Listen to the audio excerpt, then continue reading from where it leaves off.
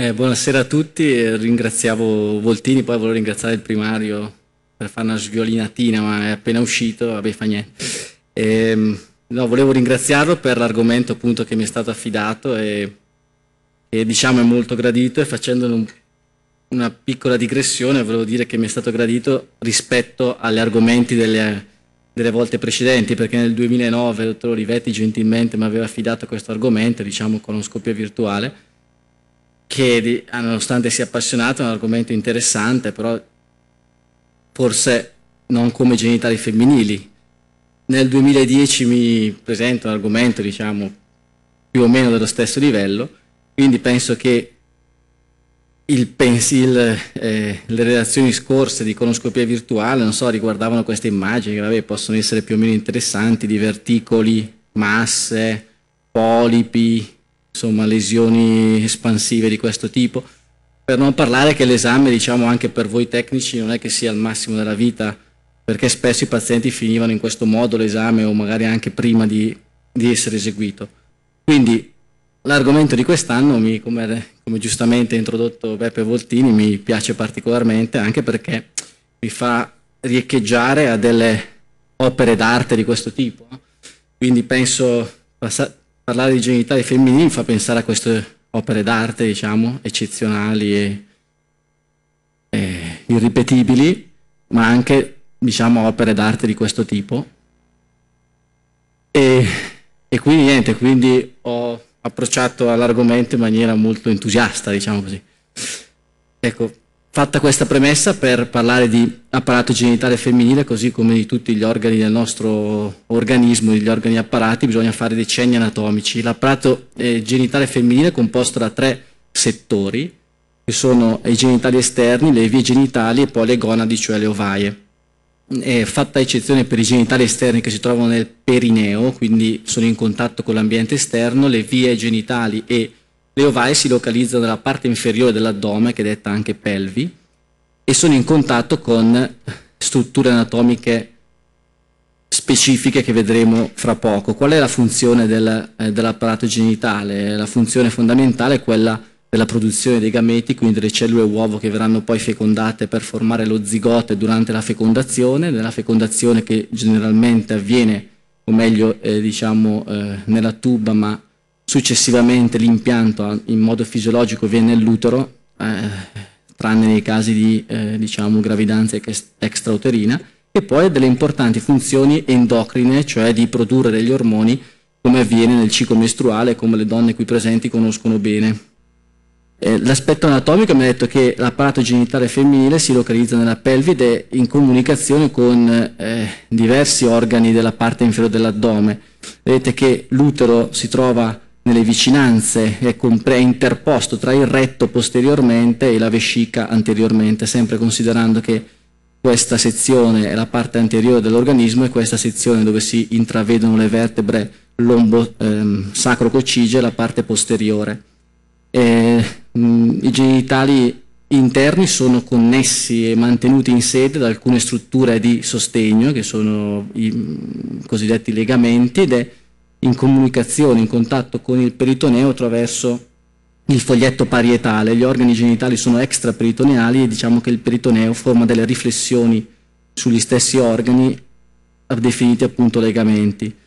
Eh, le ovaie sono due strutture pari simmetriche, localizzate nella maggior parte dei casi a destra e a sinistra dello scavo pelvico e sono in comunicazione con l'utero attraverso le tube uterine. La parte terminale in comunicazione con le ovaie delle tube si chiamano fimbri e generalmente sono pervie. Poi vedremo anche in casi di infertilità come può accadere che queste fibre siano chiuse.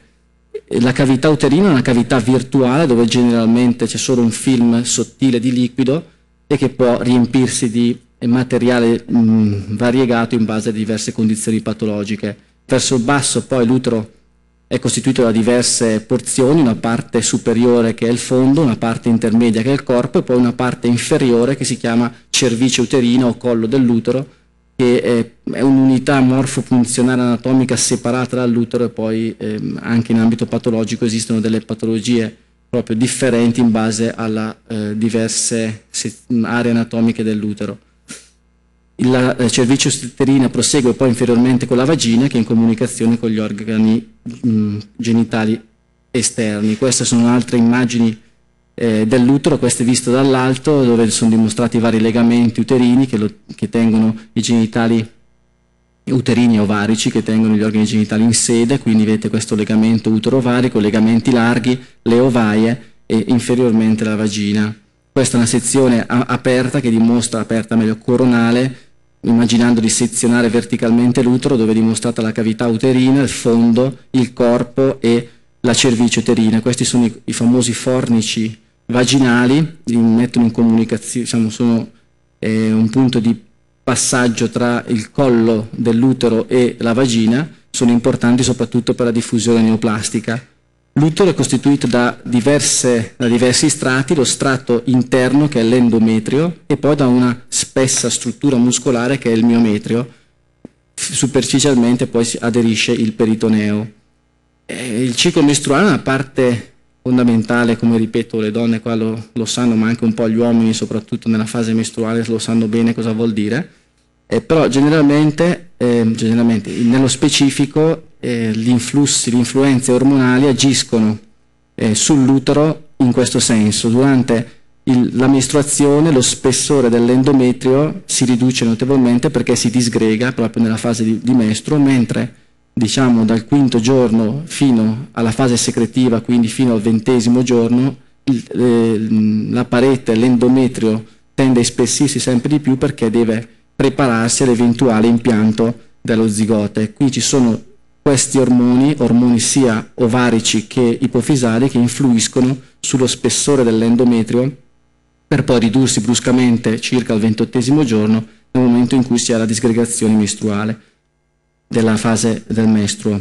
Questo per dire che eh, è sempre importante sapere in che fase di, del ciclo sia la paziente che viene a eseguire un esame, eh, uno studio ginecologico radiologico, diciamo, radiologico ecografico, perché in questa immagine di utero eh, entrambi gli uteri sono normali, cioè non esiste patologia, però nella fase secretiva l'endometrio, la fase proliferativa, quindi nella fase iniziale della, del, della, del ciclo mestruale, l'endometrio è poco spesso, mentre nella fase secretiva è molto spesso. Vedete questa immagine ecografica di un utero che ha una forma volgarmente a peperone, diciamo, sfondo, il corpo e poi verso il basso la cervice. Questo è il miometrio, che è ipoecogeno in ecografia, e l'endometrio iperecogeno. Allora, la prima domanda è quali sono le indicazioni allo studio radiologico dell'apparato genitale femminile. Tutte queste diciamo, eh, evenienze che ho citato sono oggetto di studio radiologico. E la seconda domanda è quale sia l'indagine di primo livello per lo studio della patogenitale femminile, penso che sia intuitivo perché sicuramente l'ecografia rappresenta l'indagine di primo livello, se non altro perché è un'indagine non invasiva e non utilizza radiazioni ionizzanti. Quindi l'armamentario radiologico per lo studio dell'imaging della patogenitale femminile è rappresentato diciamo, in gran parte dall'ecografia e dalla risonanza magnetica, perché sono indagini che non utilizzano dazioni ionizzanti e perché sono le indagini più specifiche nella differenziazione dei, dei tessuti molli, quindi per, che hanno una maggiore risoluzione spaziale di contrasto. L'attack si esegue solo in casi di patologie maligne, o meglio, nella maggior parte dei casi di patologie maligne, e poi esiste un capitolo particolare che è l'isterosalpingografia che viene effettuata soprattutto per lo studio dell'infertilità. L'ecografia è quindi indagini di primo livello per motivi che sappiamo abbastanza bene, cioè poco costosa, non invasiva ed è ormai diffusa dappertutto e viene eseguita sia l'ecografia di tipo endovaginale che transaddominale, poi ci sono dei casi più specifici come quella transperineale transrettale che però mh, mm, non sono poi così diffuse permette l'ecografia un'indagine, un'analisi morfologica degli, dei genitali interni, in particolare dell'utero e delle ovaie, e poi con questi eh, moduli come il color doppler o con l'utilizzo del mezzo di contrasto possiamo avere informazioni aggiuntive sia sul, sul diciamo, aspetto fisiologico che nell'ambito della patologia tumorale. L'ecografia transaddominale è l'indagine non di scelta, non è la prima indagine perché l'indagine di scelta è quella transvaginale, ma che viene spesso eseguita per la sua rapidità di esecuzione. Si utilizza delle sonde a bassa frequenza, quindi tra 3 e 5 MHz perché permettono una eh, maggiore diciamo, estensione in profondità. si esegue l'ecografia transaddominale quando l'impossibilità, esiste l'impossibilità dell'ecografia transvaginale, per esempio nelle ragazze giovani o in casi di stenosi vaginale o per altri motivi.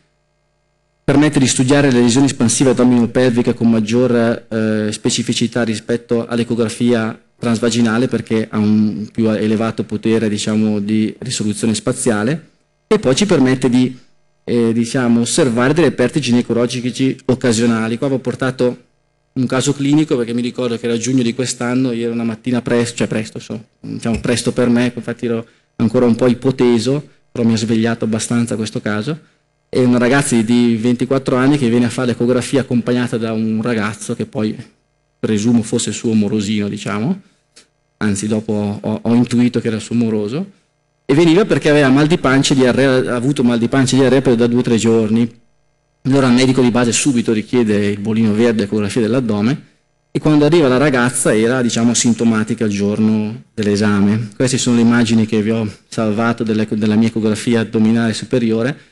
Vabbè, il pancreas, eh, il pancreas, il fegato, i reni andava tutto bene, non aveva niente. A quel punto vado a vedere la parte bassa dell'addome, qua vediamo l'utero, e vedete che una delle limitazioni dell'ecografia è il fatto dell'aria che ci impedisce la visualizzazione perfetta, però insomma riusciamo a intuire l'utero, se vi ricordate le immagini di prima, l'endometrio è un endometrio che deve essere sempre iperecogeno, eh, in ecografia si vede iperecogeno, in questo caso ci sono queste piccole immagini tondeggianti ipoecogene che mi hanno fatto sospettare che questo fosse una camera ovulare, cioè che la ragazza fosse incinta.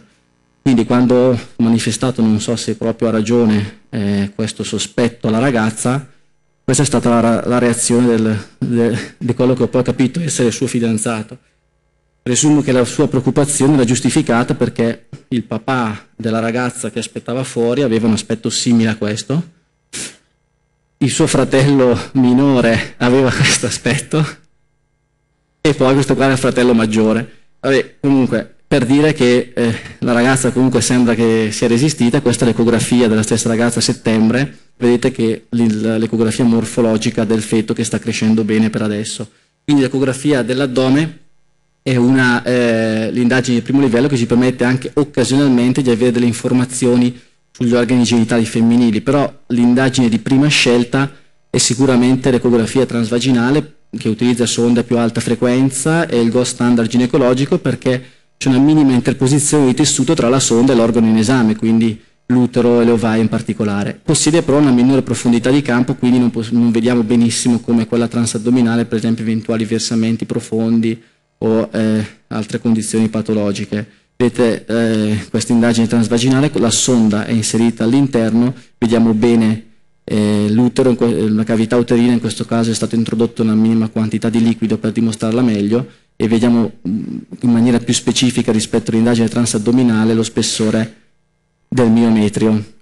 La, la terza domanda che vi pongo sullo studio della risonanza magnetica, abbiamo visto che la risonanza magnetica, si la, mm, gli organi genitali si studiano prima istanza con l'ecografia e in seconda istanza con la risonanza magnetica come secondo livello. Questo è il grande campo, due grandi, eh, le due grandi eh, indagini per lo studio dell'apparato genitale femminile.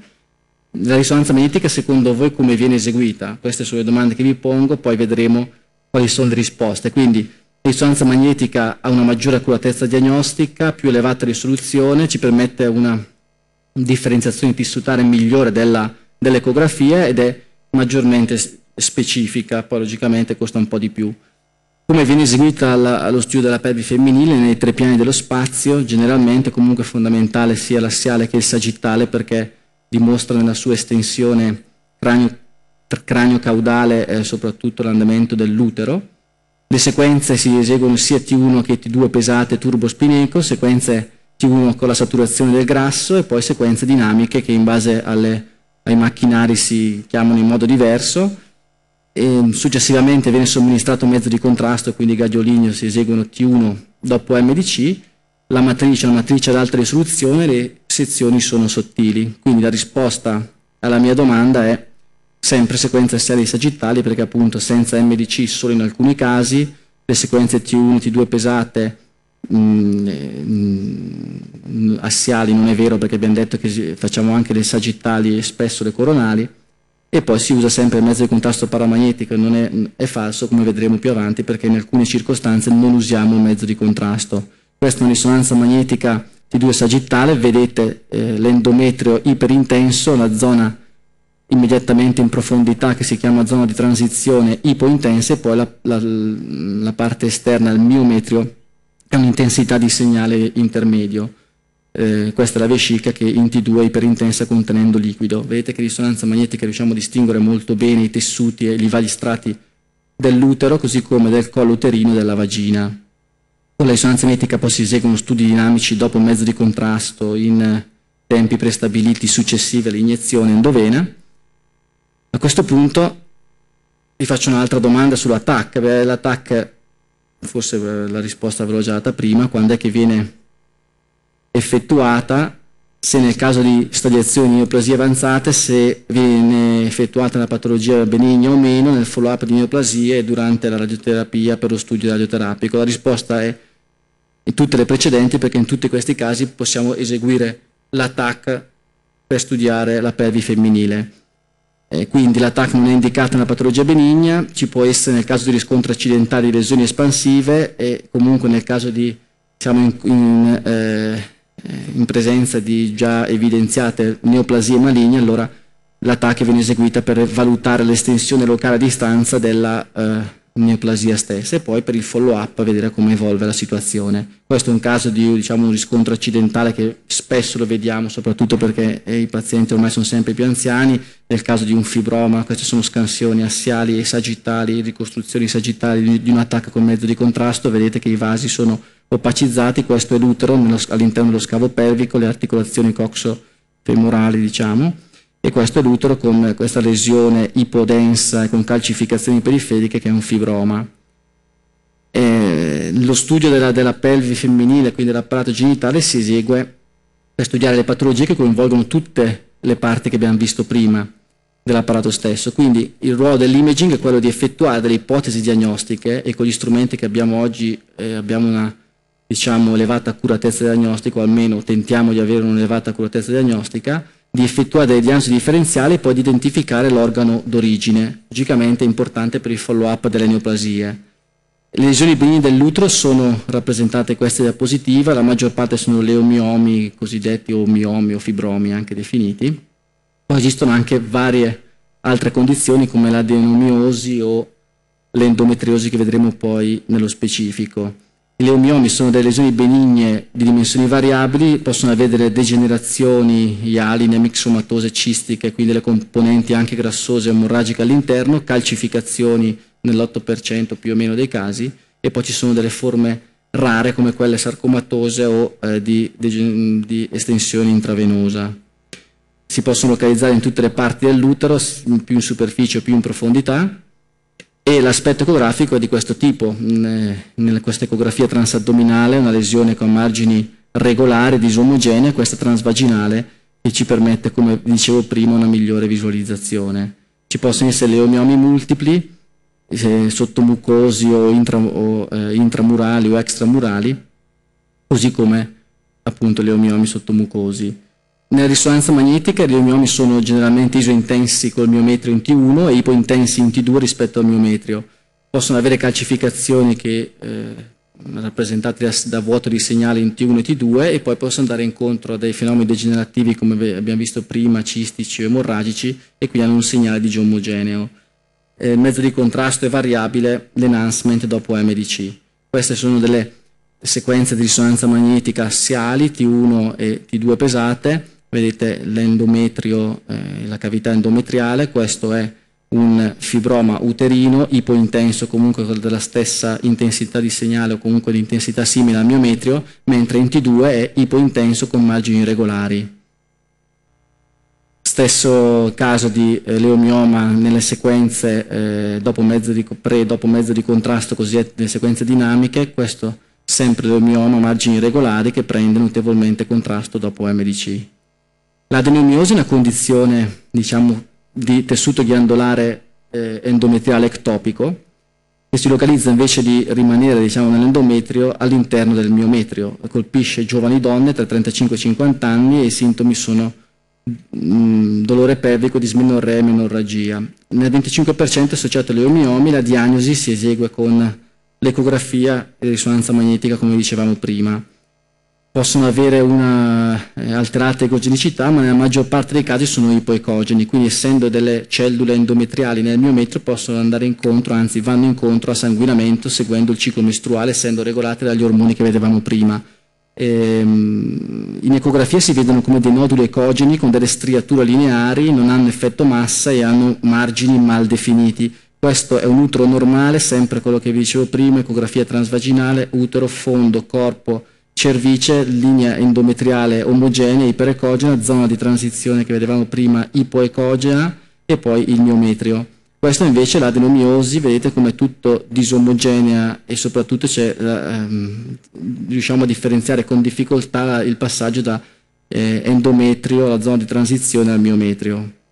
In risonanza magnetica l'adenomiosi è rappresentata da ipointensità in T1 e T2, c'è un ispessimento e disomogeneità del miometrio e poi ci sono delle aree iperintense sempre nel, miometrio come foci endometriosici. C'è un ispessimento anche della linea giunzionale che vedevamo prima. Stesso caso, diciamo, paragonabile al caso ecografico di prima, sequenze sagittali T2 normali, endometrio iperintenso, linea di transizione ipo, e poi miometrio. Questo vedete nell'adenomiosi come è ispessita la zona di transizione e riusciamo a differenziare con difficoltà l'endometrio dal, eh, dalla zona di transizione stessa. L'adenomioma è un'adenomiosi focale come una specie di adenomiosi nodulare e ha le stesse caratteristiche di prima.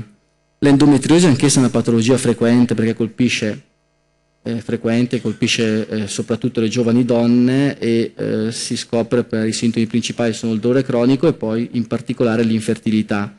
E la più frequente, diciamo, è una frequente patologia ginecologica perché vedete colpisce circa il 10% delle donne in età fertile, quindi è un eh, aspetto diagnostico importante. Ehm, cosa consiste nella presenza di tessuto endometriale al di fuori dell'utero? Prima nell'adenomiosi era all'interno del miometro, qua invece abbiamo tessuto endometriale, quindi che va incontro alla regolazione ormonale al di fuori dell'utero. Frequentemente colpisce le ovaie, il peritoneo o altri organi come la vescica e il colon. Vedete queste, eh, queste immagini sono rappresentate tutte le varie sedi dove può annidarsi eh, l'endometriosi, quindi queste cellule endometriali ectopiche nel, eh, nel retto, nelle fasce peri peritoneali che circondano il retto, anche la vescica. A livello dell'ovaio spesso sono frequenti come si studia con l'ecografia transvaginale, risonanza magnetica senza mezzo di contrasto, quindi ecco, è uno, dei casi in cui non viene eh, somministrato, si fanno delle sequenze T1 e T2 pesate sui tre piani dello spazio e poi delle sequenze T1 FAT-SAT assiali. I foci di sanguinamento sono iperintensi in T1. Questi sono casi di endometriosi.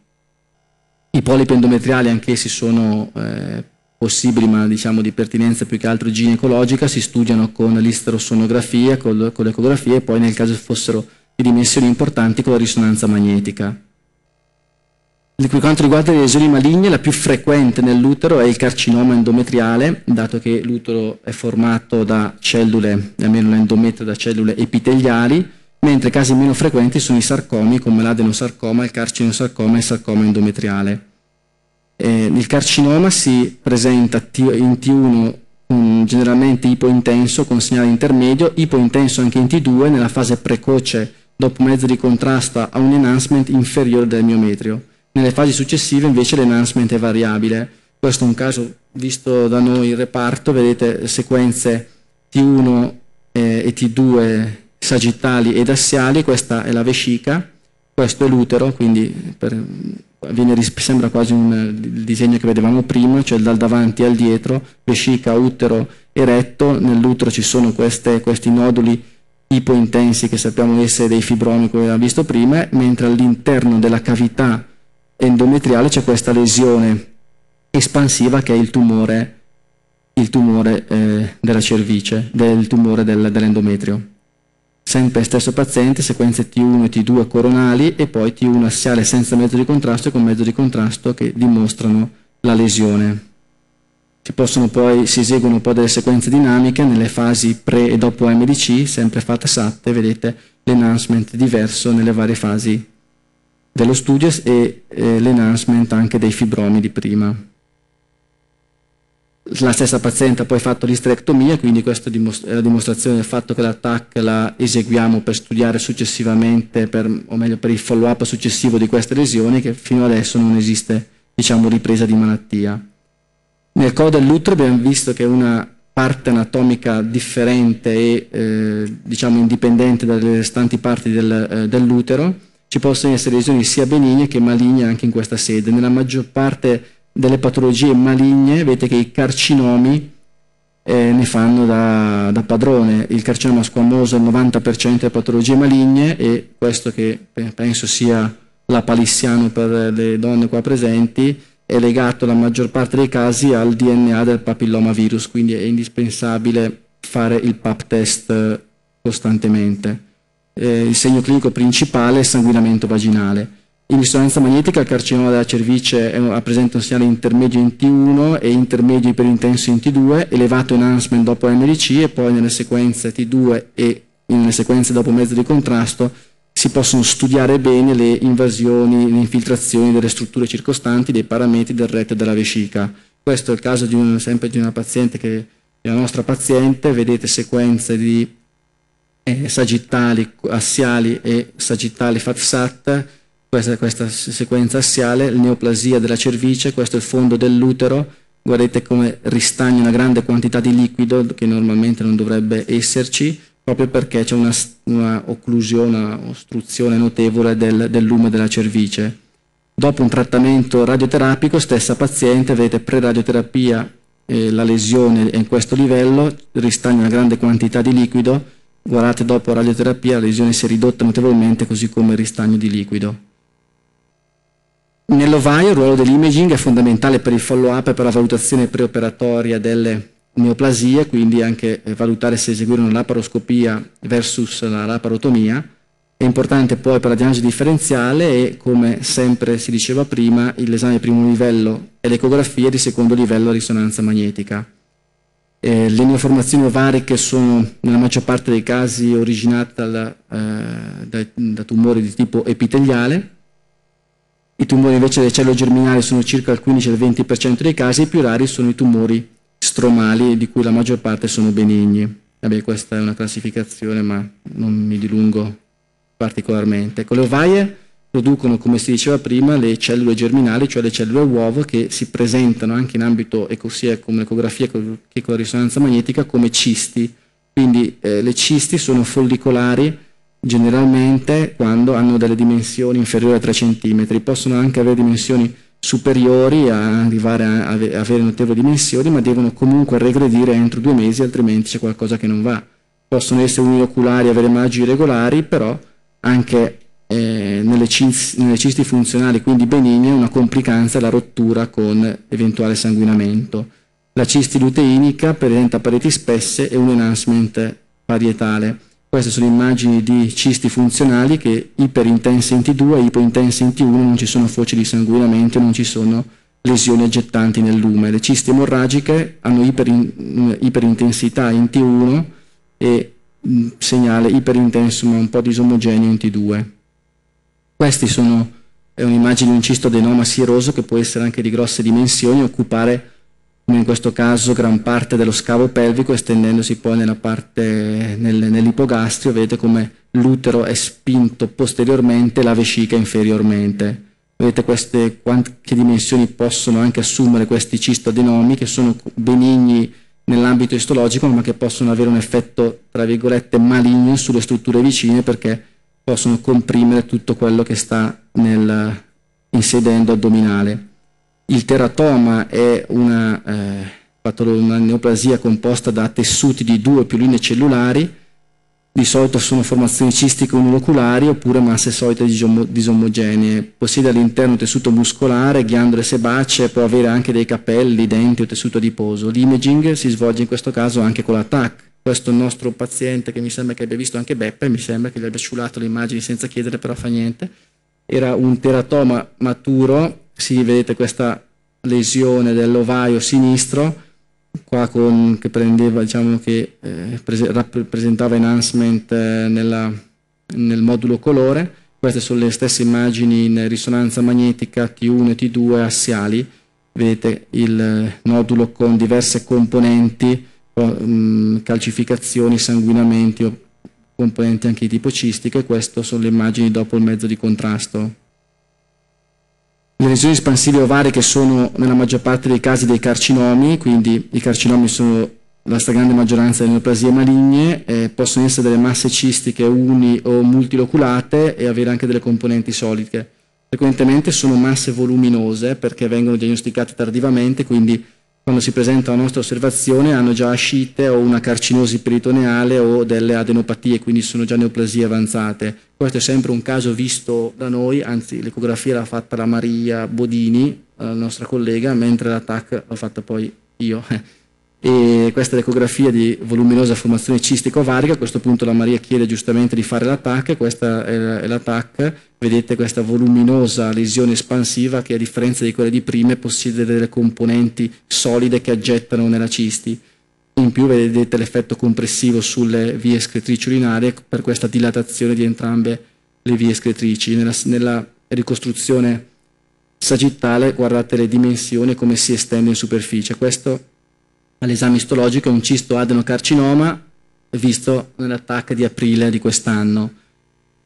Fa un po' di terapia ma non è che funziona, cioè, ma non funziona più di tanto, infatti vedete che la lesione incrementa ancora di dimensioni e poi si presentano delle metastasi epatiche oltre che delle complicanze come l'embolia polmonare. L'attacco dicevo sempre anch'io in questo caso, Fortunello. E e, per dire che eh, a volte è difficile anche eseguire una diagnosi. In questo caso è una, sempre vista da noi, una giovane donna con dolori addominali, questo è il dispositivo intrauterino, diciamo, questo è l'utero, e poi aveva in sede ovarica questa lesione neanche di grosse dimensioni, ma con una componente liquida e una componente solida periferica. Facciamo l'attacco, fatta io, per dire, e quindi fatta io nel senso che mi, mi, mi, diletto, cioè si vede che sono fortunato a beccare sempre questi casi.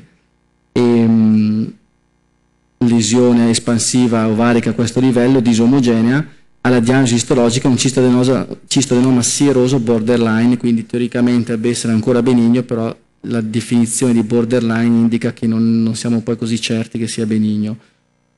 Eh, la paziente esegue un'istoronessectomia, vedete che a distanza di tempo sta bene, non ci sono residui di malattia né riprese di malattia.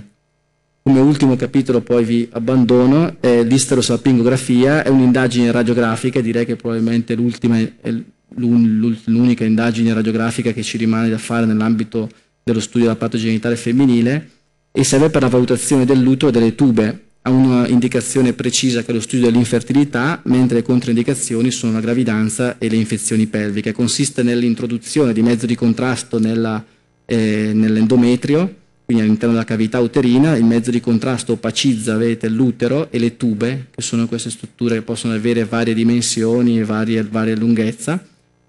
La, la, il compito diciamo, della, dell'istosalpingografia è quello di dimostrare prima di tutto l'aspetto dell'utero, perché può influenzare anche un'eventuale infertilità e poi vedere se le tube siano pervie. Qui c'è un mezzo di contrasto che sta spandendo nel, nella cavità peritoneale ed è un segno positivo perché vuol dire che le tube sono aperte e quindi il, la cellula uovo può migrare dall'ovaio nelle tube ed essere eventualmente fecondato se passa di lì per caso uno spermatozoo o qualche spermatozoo. Queste invece sono delle immagini che dimostrano le varie forme che può assumere l'utero e le tube, l'utero unicorne, l'utero bicorne e queste sono evenienze frequenti di infertilità chiusura post-chirurgica delle tube vedete che non c'è spandimento di mezzo di contrasto nel peritoneo e questa evidentemente è una delle cause dell'infertilità. Vi ringrazio, ho finito.